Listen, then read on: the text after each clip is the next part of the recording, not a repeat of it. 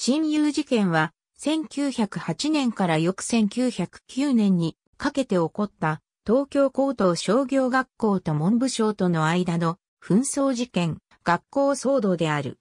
この項目では第二の親友事件とされる1931年の籠城事件についても合わせて記述する。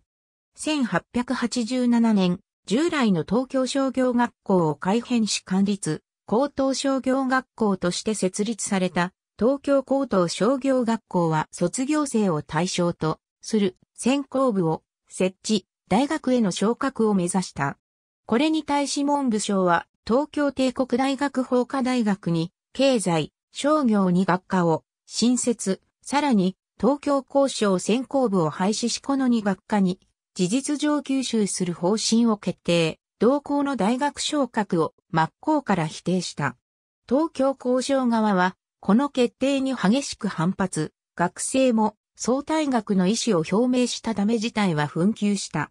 結局、財界の大建物であり、東京交渉の将議員でもあった。渋沢栄一が朝廷に乗り出し、文部省も折れて、東京交渉専攻部は存続が決定されたため、東京交渉側はほぼ勝利し、これによりその後の東京交渉の旧制東京商科大学への昇格への道が開かれることとなった。またこの事件後、東京商大、一橋大の公園、同窓組織として、現在も存続する女水会が発足した。以上、1908年から9年にかけての一連の事態を両年の干支である土の絵猿及び紀遊をつないで、親友事件と称する。関一、東京交渉教授として、同校の大学昇格運動の中心となった。渋沢栄一、事件に際して、朝廷、先行部存続に尽力した。東京交渉には本科に接続する形で2年生の先行部が設置され、同じ管立交渉である神戸高等商業学校の卒業生も受け入れていた。1901年1月、欧州留学中の交渉教授8名がベルリンにおいて商業大学の必要を堅議し、先行部の設置、拡充や卒業者への商業学士授与を足がかりに、交渉の大学昇格運動が進められた。1907年には、商科大学設置に関する県議案が、帝国議会を通過、交渉の大学昇格運動は最高潮に達した。このような東京交渉の大学昇格運動や、議会の権議に対し、第二次、桂内閣及び文部省は、翌8年9月から9年3月にかけて、東京帝国大学法科大学内に、経済学科、商業学科を設置することで対応した。この過程で交渉側は、単独での大学昇格を第一の目標としたが、事前の策として、帝大内に東京交渉を母体として、商科大学を新設することもやむなしとしていた。しかし文部省はこのいずれの案も認めず、帝大法科大学教授会側も、文部省案を受け、上記のように昇華を、東京交渉とは別に、帝国大学内に独自に置くことを決議した。これにより10年にわたる、東京交渉の大学昇格運動は挫折し、運動を進めてきた関はじめら4教授は辞表を提出、松崎倉之助校長も問責により辞職に追い込まれた。その上文部省は松崎校長辞任発令直後の5月6日、交渉選考部と帝大昇華との重複は、学生上より見るも、不統一の嫌があるとして1911年をもって、全社を廃止するという奨励を発した。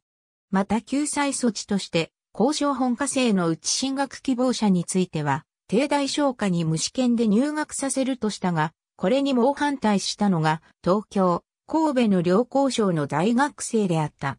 帝大への進学は、現在の交渉在学生のみに限るという、過渡的措置となる見込みであった一方、東京交渉の念願であった大学昇格の可能性はこれにより完全に断たれることになるからである。